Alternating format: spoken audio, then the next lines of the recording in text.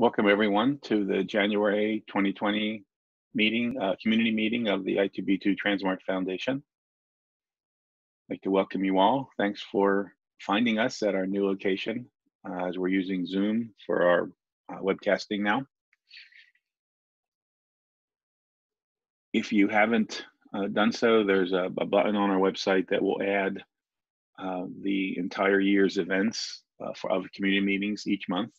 We hold these meetings on the third Tuesday, third Tuesday of every month at 11 a.m. Eastern time. Uh, and um, hopefully uh, the button works and we'll add the, uh, the sessions to your calendar. These sessions are being recorded and you'll be able to find the recording on both our, trans, our I2B2 Transmart uh, YouTube channel as well as on our website uh, along with the slide deck.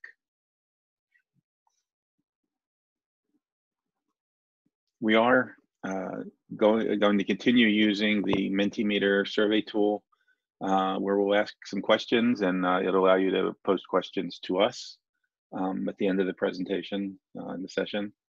Uh, and so uh, if you um, if you scan that bar that, that QR code on the screen with your telephone, you will get to the the questions on your phone or on your computer, on your tablet, and or you can go to the, to the website menti.com and type in this code. And if you do, you'll see a set of questions. Um, just uh, first couple are just about um, who you are and where you work. And uh, if you go to menti.com and type in that code, you'll be able to scroll through these questions and give your answers uh, to the different questions. Uh, and I will, uh, as I go back and forth through these questions, you should be able to move yourself through back and forth, but um, you'll see the uh, the responses as they come in uh, on the screens.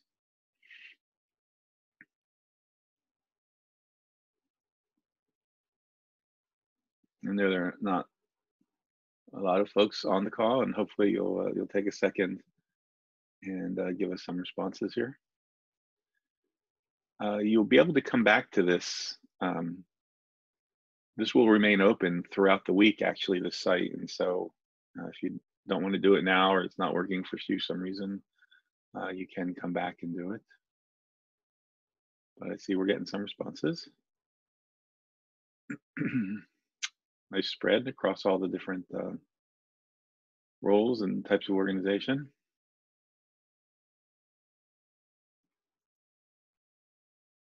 Of I2B2 users. Great.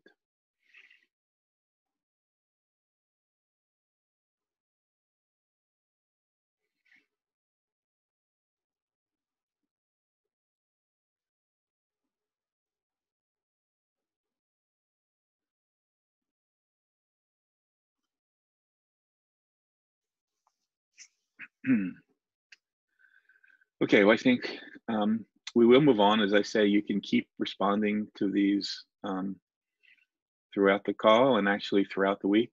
Uh, this will remain up through Friday evening. Uh, if you don't have time right now, I'd like to go back and post some questions. Um, thanks, thanks for your responses. It's great. Yeah, some one new person looking to get uh, involved. Okay, so uh, this is the agenda for the day, and um, I'd like to turn it over to our managing director, Diane Keogh. Diane? Hi, everyone. Welcome. Um, I am here in freezing, freezing uh, Boston, and uh, it was 11 degrees when I walked out of the house today. So um, I'm pleased to be in my warm office. And uh, what I want to do is um, I want to give you uh, an update, a quick update on the foundation. We'll um, talk a little bit about, just a couple minutes about the I2B2 release that's coming out. Um, Rudy will um, say a few words about the, the beta release of Transmart. Um, and then Mike Mendis, who is here in the office with me, will um, talk about two topics, two meaty topics, one about REDCap integration um, and one about uh, an update on what's happening with the, the ETL um, working group. And then we'll open it up for discussion. So Rudy, if you want to go to the next slide. So the first thing I want to mention is um, we had launched a new um, user group for the European community um, last month, and uh, 28 people immediately joined, and that um, that continues to grow. So that's pretty exciting. We had our first call. It was a, a lively call. A lot of um, energetic um, folks on on the the group. And the three areas that we talked about, one is, you know, obviously we're still looking for the uh, a home for the European meeting for the fall. So a lot of brainstorming around that. Um, they started to formulate what their priorities were as a, a European community. Um, and then, you know, of course, the desire to make I2B2 and Transmart uh, data models compatible. So those are the three main areas. The meeting will be um, the first Tuesday of each month. Um, if you want to join, you can go to the um, working group link on the website and, um, and join the um, user group there. Um, the next month's agenda will be kind of use case focused. One will be about disease-based registries. Uh, Andreas Kramer will be leading that. And then the second will be the support of the data integration centers um, that um, I actually don't know much about. These are things in, in Europe that um, Ulrich Sax will lead. So we'll um, we will focus on those two areas. Next slide. Again, we need a home for our fall meeting. Um, this is kind of typical with the with the European meetings. Uh, we we usually identify the the location sort of in the the late winter um, time frame, and then um, then have to pull the meeting together. Um, I'd love to, have a few years queued up, but if, if anybody has a, a suggestion for a, a location, please um, reach out to us. Next slide. So we're going to go back to the um, the Menti questions, and, and, the focus here is about um, working groups.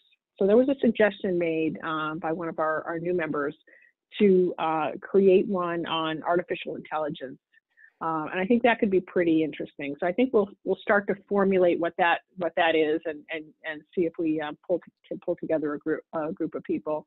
But what I wanted to do is I also wanted to ask a few questions using our um, Menti um, software to see if people had suggestions on other um, user groups that they're interested in. So I will let you all go to your your Menti questions and um, see what kind of response we get.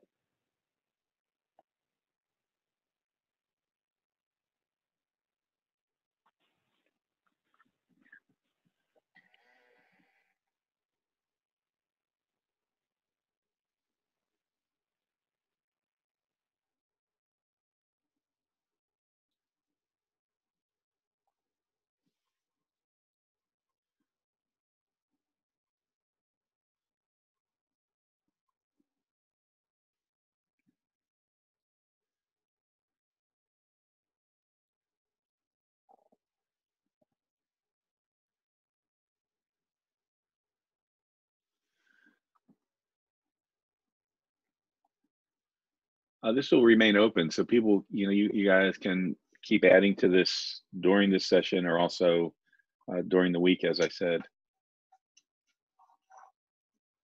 So whenever you're ready, we could move on, Diane.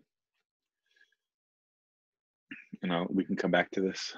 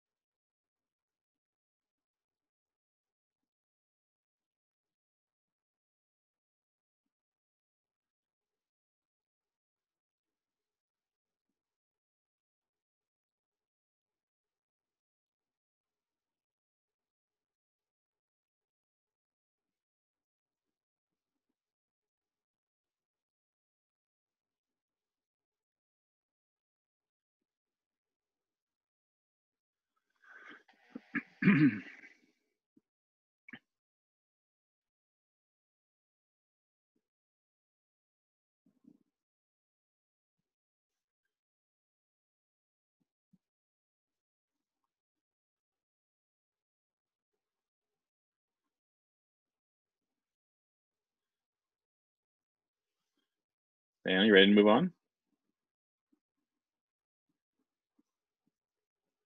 Yes. Yes. I'm sorry. My Okay. my phone my phone was on mute. I was actually talking this whole time. Okay. That's all right. You gotta you gotta this technology, you know, the mute button. All right. This is some great information. This is some great information, everyone. So um, I think we'll we will take a, a deeper dive at, uh, on some of these things moving forward.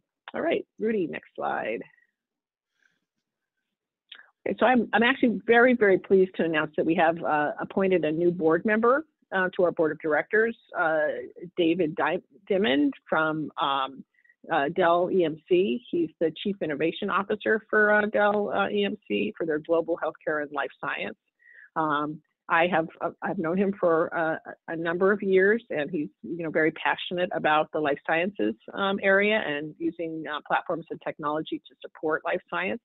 I think as an organization, Dell is is very much focused in that area.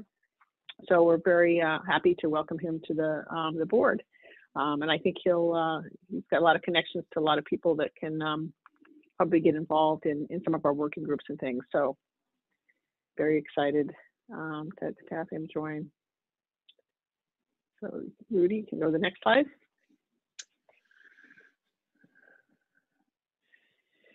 So the Harvard meeting registration is now open. So uh, please, please, please um, register. We're um, thrilled to let you know that our sponsors uh, have uh, provided us um, with enough funding. Uh, so registration this year is free. I think um, last year we, we did have a, a small registration fee that um, that was something that wasn't popular, and um, so I'm, I'm, I'm thrilled that it's free this year. Um, everyone is invited. We uh, I'll show you sort of the preliminary, the be- beginnings of the preliminary agenda, but everybody is invited uh, to offer topics for a presentation, um, you know, use cases or, or posters. Um, and there is a place on the website where you can um, you can you put your suggestions in, um, and we will get back to you.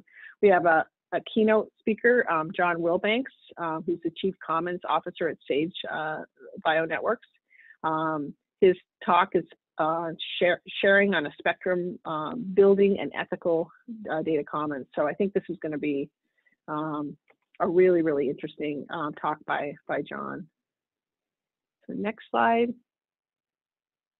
This is what we have posted on the website so far, a sneak preview. Um, we're still pulling together the speakers for this, but we, we thought uh, a focus on um, national and regional networks um, that are out there and talk about what people have done and, um, you know, uh, what they're going to be doing moving forward and um, what worked, what didn't work. That may actually turn into a panel discussion. Um, so we're focusing on REDCap integration. You're going to hear about that today, but I think there's there's additional REDCap integration that people are interested in. Certainly, some use cases on um, FHIR, OMOP, um, user interfaces is something that we've done a, a ton of work on um, over the past year here with the help of um, Griffin Weber and his his uh, user interface group. Um, panel on data sharing, um, you know, and, and, and again, you, can- you can read this. So um, you can go to the next slide. The second day is going to be similar to um, what we've done in the past. Um, ACT will have uh, a half day um, session where they can bring a, a lot of the people within the ACT community together um, to focus on their roadmap.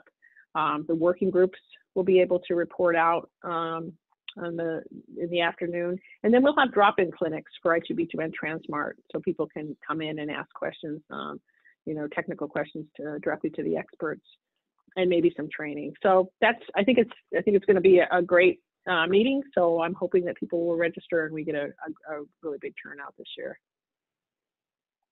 Next slide. So um, is Jeff Klann on the, the phone? I think he was going to do a quick update on the 1.7.12 release. Jeff, you can just unmute, I think, and join. So, There you go. uh, oh, am I? You're live. muted? Okay. Hi. Hey everyone. So, um, as of I think December 27th or so, we released I2B2 1.7.12. So this is the first um, conference call where we actually get to announce it. That we've been posting announcements in various places. This was um, this is anticipated for a while. We we kind of we finished the code in October, and but we spent spent a lot of time making sure it was well tested and and uh, you know supported all the all the use, users and use cases it needed to. So we've got it out now. so it looks like um, Rudy put a summary here of the things that we changed. The three biggest things that changed in 1.712, and, and they're actually pretty significant changes. Um, we changed the install of i2b2, so it's now dramatically easier to install, both you know downloading it as a uh, as a WAR file or installing from source are both much easier. Um, uh, we also rede- redesigned the whole find terms interface in the web client, so it's much easier to find terms. I, I, I know as a user of I2B2, I, I, found it difficult to actually find what I was looking for with find terms many times, and um, and and now it, it's built around some other uh, work that's been done by like the Leaf team at University of Washington in design, and uh, it, it's much easier to use. It, it lets you navigate the hierarchy as you're doing search, which uh, is much better. Um, and then the third big thing I'm going to jump down to it was REDCap import. We now have a direct integration with REDCap, so you can link a REDCap form or survey to your I2B2 project, and the data is kind of continuously integrated back into I2B2. Uh, we also added some other new fun features. Um, I2B2 has had the capacity to uh, keep counts of the total number of facts for every item in the ontology, and that's been true for many years but there have never been um, tools included to fill in those counts. So we built those kind of uh, on various other projects over the years. So we put them together and optimize them and clean them up and put those into I2B2. Um, we support new authentication protocols. Um, that weren't supported before. We also made a few other um, enhancements to the web client, fixed a lot of bugs, and we included the ACT ontology from the ACT team. So optionally, when you install i2b2, you can install it with the demo ontology or you can install it with the ACT ontology. So uh, maybe next month we can add a Mentimeter question to find out if anyone's actually installed it yet, and if so, what what what are the uh, the best things and the worst things and any problems that need to be addressed. But um, but right now just wanted to to say with excitement that it's actually out there so go ahead and grab it and give it some testing. Um, another important thing that happened in this release um, is that we included a lot of external collaborators and this is something that uh, will be a trend. We want to encourage more and more external collaborators to contribute back to the core and we're trying to f- formalize ways of making of contributors making those contributions back to the core so, in, in addition to the uh, team at Partners, um, w- which included you know four of us plus a couple of other people at Partners who contributed who have been on the I2B2 team in the past, uh, we also had um, the ACT team. We had uh, group.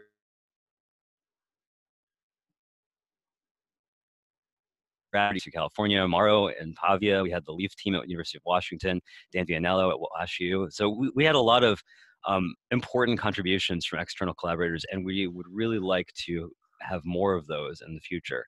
Um, not not just you know not as we've had for many years. We've had external um, pages, you know, community projects and whatnot, but actually to get core features in because the the core team of I2B2 is rather small now, and um, adding new features will be something that we're going to rely on the community in a lot of ways in the future um, for some of the big new features. Uh, so thanks for, for, thanks for all the hard work. Thanks for the beta testing. Um, we also had community beta testing, and so many many of you out there were beta testing, and that was great too. Um, we are. Uh, is there another slide, or is that it? No, that's that's it.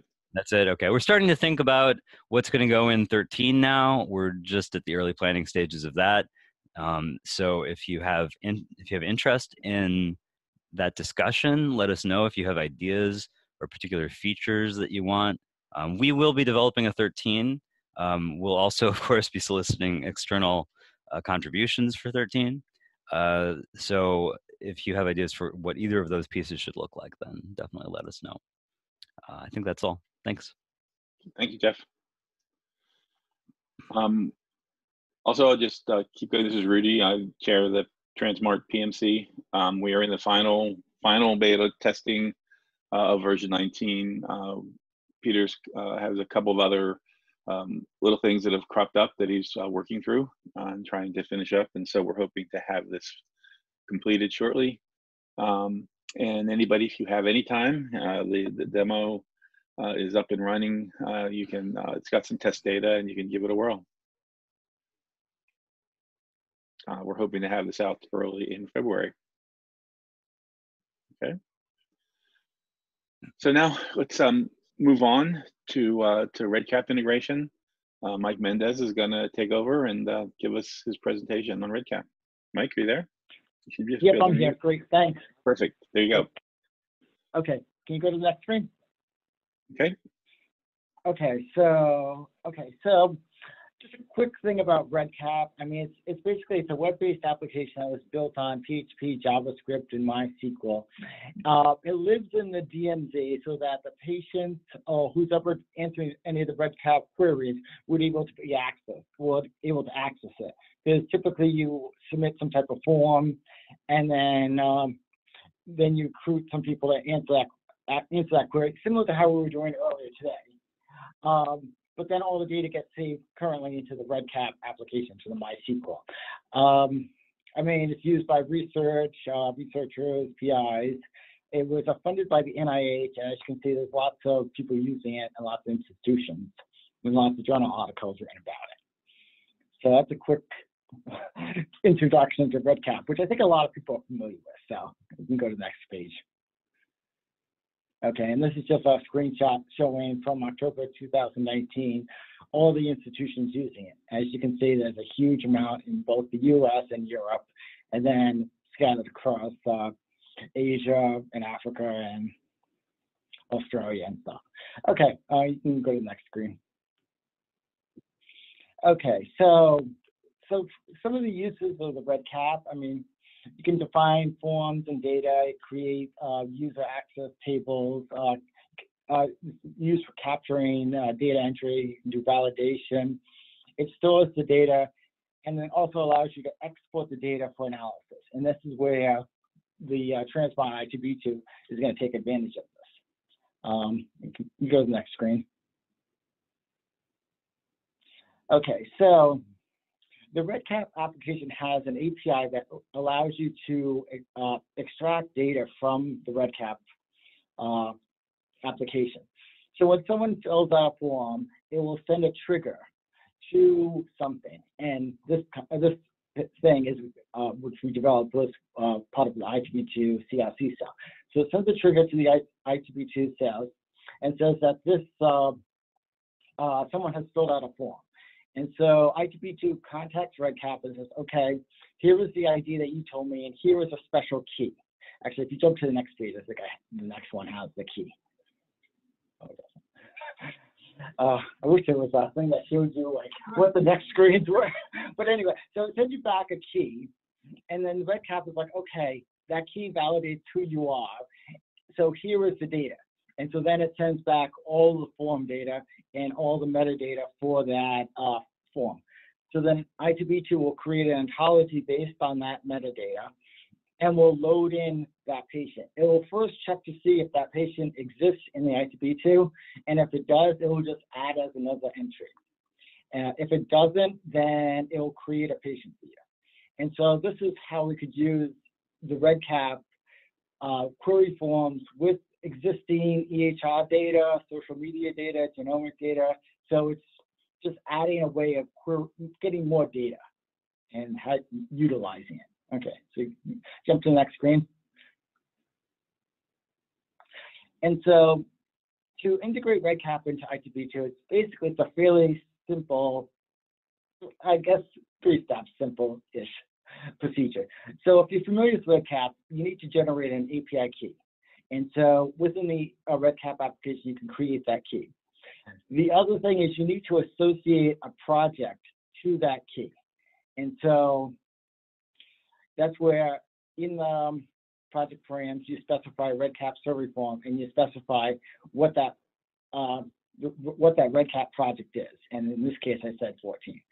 Uh, and then you also need to specify that key so that when I2B2 contacts REDCap again, or for the first time, it will pass that API token key.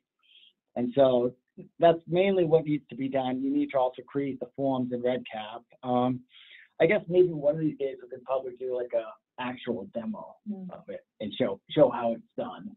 Um, but this kind of gives you an idea of what what can be done. The other thing is you need to um, um, needs to be added to the ag service account for the key. The reason we did that was because the, API token is kind of a protected key. If you have that, then anyone can access your RedCap. So the ag service account is kind of a protected account, so uh, we wouldn't be exposed. Okay, so you can jump to the next screen. Okay, and so within the RedCap, you need to specify where the I2B2 instance is, um, and then what the path is, like uh, query uh, query to setup slash RedCap. So you can jump to the next screen. This is also part of the RedCap stuff.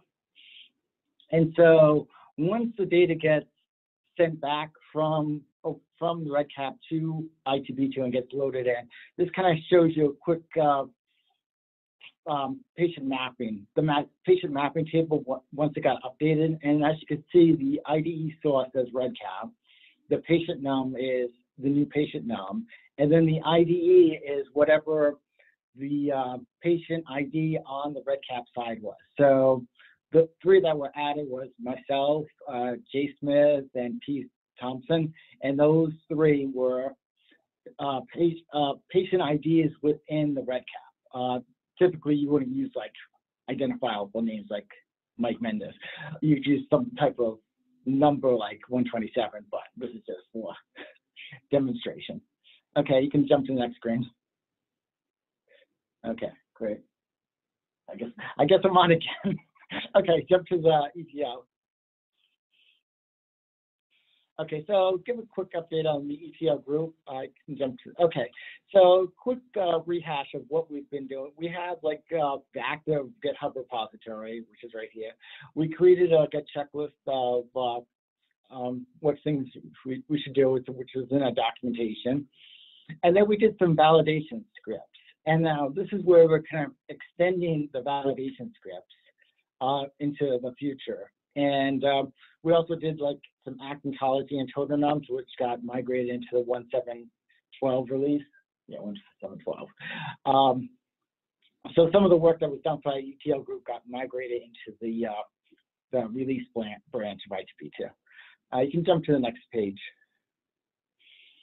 So um, this is just a kind of a quick rehash of, uh, you probably, if you've seen the slides before, this is kind of like some of the tools that were used by Transmart. We also, on the Transmart website, we've started to modify some of the, uh, um, I think we created a grid of all the different versions of Transmart and what tools are available for those versions. What, so what's available for 16, what's available for 17, and um, now we're going to be working on what's available for 19. So, so some of these got integrated into that web, website. Okay, you can jump to the next page. Okay, so one of the things that we started looking at was we need, we we were developing um, a bunch of stored procedures to load data into uh, Transmart slash I2B2. And we were looking at ways of executing these stored procedures. And so it was kind of a, we started looking at SSIS, but there was a lot of licensing requirements if you're not um, a Microsoft shop. So then um, we started looking at paper, And then we've had a lot of good uh, talks on Paver, a lot of presentations on the ETL group. Um, so we started to look at utilizing Paver to actually execute all these stored procedures. And so the stored procedures, uh, and then we started looking at using some type of EHR system. I think it's just, can you jump to the next page? This next page has that. Um, yeah, so so we started looking at utilizing some type of EHR system as kind of a guinea pig, if you think, uh, for loading the data. And um, we know that Epic is like one of the more popular ones, but releasing stuff based on Epic can only do it on their site. So we, we started looking at NextGen, which is also a very popular EHR system. So we've developed uh, tools or stored procedure scripts that will take NextGen and then load it into OMOP. And so, th- and then after that, we have another set of tools that take OMOP and put it into I2B2 or OMOP into Transmart. Um, the reason why we chose OMOP versus just saying next gen to I2B2 is because we wanted some um, middle layer that could be used by other EHR systems. So we'll do practice patients next, or Allscripts, or some other one. And then all they have to do is take their EHR and bring it into OMOP.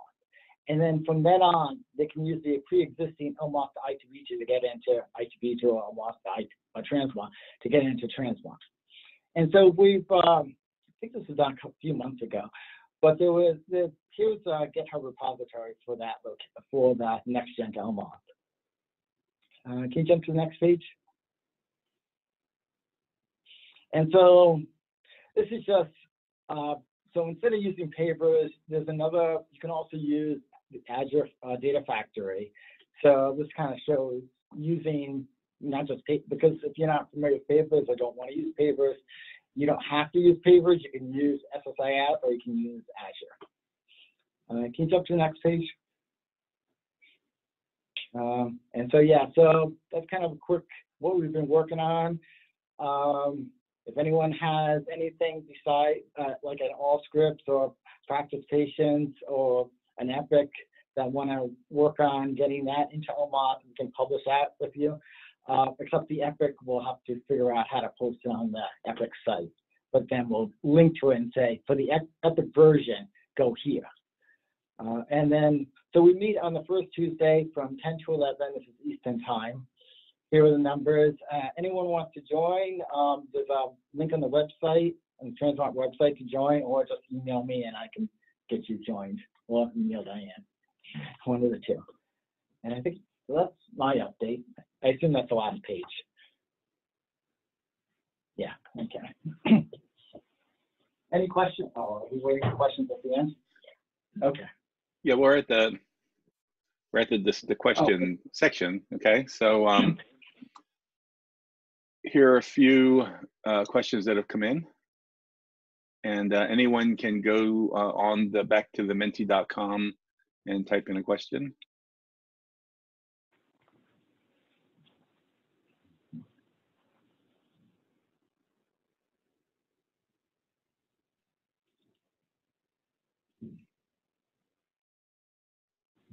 Mike, since you've been on most recently, you want to, can you address the last Yeah, I was just question about Red to- Cap? No, So, Okay, yeah, so, so the reason why we did REDCap, uh, which is a pseudo open source platform. I know what you mean by it's not open source.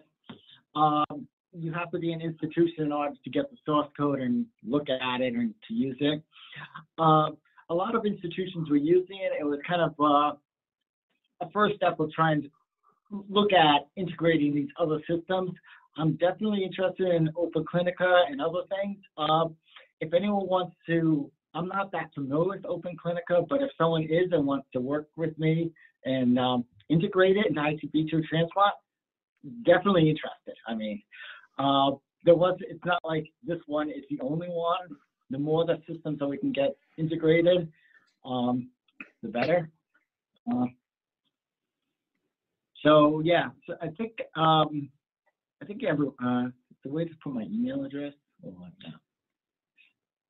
Well, let's just put it in as a question, Mike. oh, okay. How do If you if you have the if you have the menti.com there. Oh, I should go there. Okay.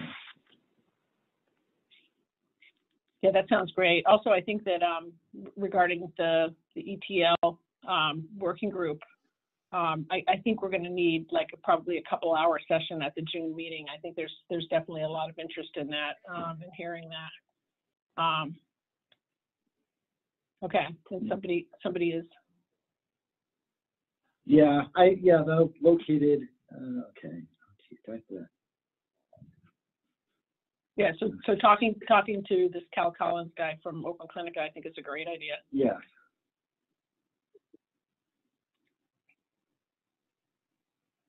What, how do I answer? Oh, I to go to the end. All right, Mike, I'll let you do that.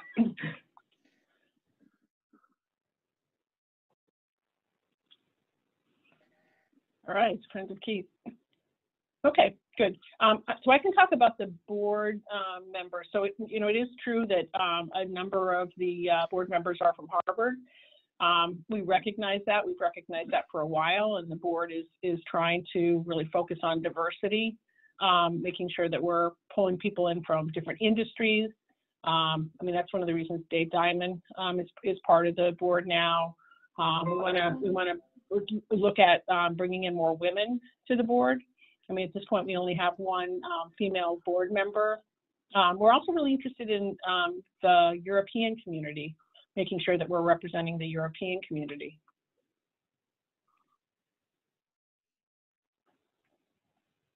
Oh, there's Mike's yeah. email. Um, we will have a board, um, we, we will uh, allow uh, board nominations in the spring. Um, right now, we're, um, we're it, the people that will nominate the board members are member, uh, members of the foundation. Um, we may be taking a look at that uh, and seeing if we make some changes.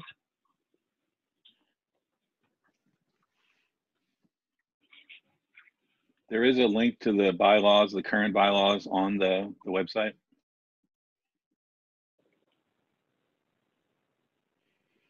Any other questions from anyone? Again, you can type it into the um, the board here. Uh, if you'd rather just turn on, unmute yourself and ask it on the phone, you can, you're welcome to do that as well. One of the advantages of using Zoom instead of go to go to webinar.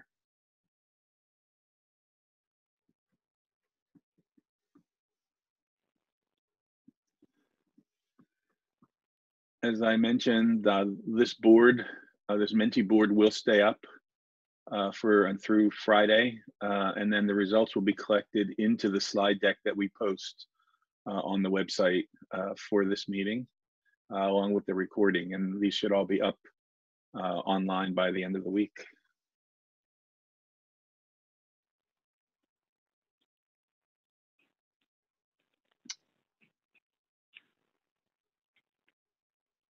I'm not seeing anything else come in, Diane. You want to do a close? Yeah, great. Thanks, thanks everyone for joining. Um, I, I, have a feeling we may have lost a few people because of the the Zoom, um, the change to Zoom. So we'll we'll definitely um, uh, send that out to folks um, and, and, make sure people are aware. Uh, and remember, this uh, presentation is um, will be available on the website and it's always recorded, so you can go back to this. Um, so thank you very much for joining, and we will talk to you in February.